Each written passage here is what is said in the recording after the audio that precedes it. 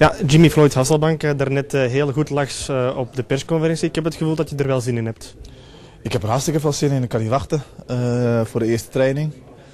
Er is heel veel werk te doen. Maar ja, ik, ik zie er heel erg naar uit. Waarom heb je voor deze club gekozen? De potentie. Slapende Reus. Oudste club in België. Ehm 20 jaar geleden, 20 jaar geleden was ik 21. Stonden ze in de finale in Wembley. Dus eh, deze club heeft eh, heel veel potentie. Wat verwacht je van je eerste avontuur als trainer? Ja, wat verwacht ik daarvan? Ik weet het niet wat ik verwacht. Ik, ik wil zo succesvol zijn als, als, als, als mogelijk. En dat is bovenin meedraaien met, met, met, met, de topteams. En ik denk eh, met, eh, met, met, met, met help van eh, het bestuur en de fans achter eh, de spelers als twaalfde man, dat dat eh, eh, een, een, moet lukken. Ja, hoe goed ken je de club? Goed genoeg. Ik ken de mensen nu. Ik heb ze nou al een aantal keer ontmoet. En heel veel gesprekken gehad met, met ze.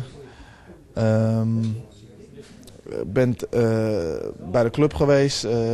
trainingsvelden een aantal keer gezien. En ja, goed gevoel. Ja, je zegt een goed gevoel, want ja, je leert nu de club pas echt kennen. Eh, wat zijn zo de, de indrukken? De indrukken zijn dat, dat, dat ja, eh, veel dingen moeten, moeten veranderen. Kleine dingetjes die, die, die, die een club succesvol maken.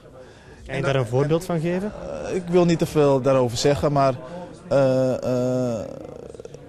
er zijn kleine dingetjes die, die, die, die, die, die, die, die moeten veranderen. En die zijn behoorlijk belangrijk.